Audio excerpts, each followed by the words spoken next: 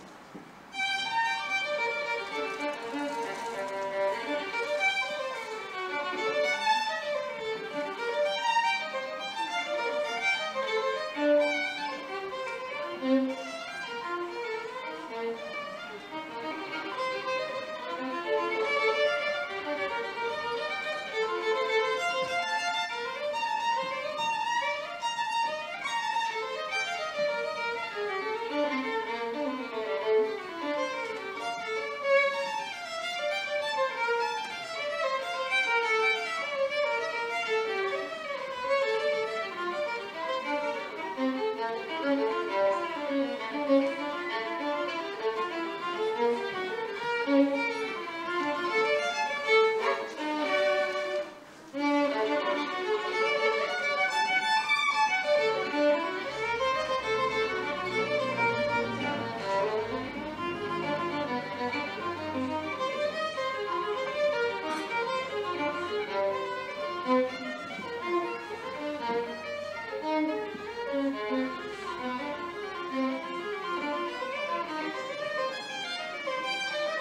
Thank you.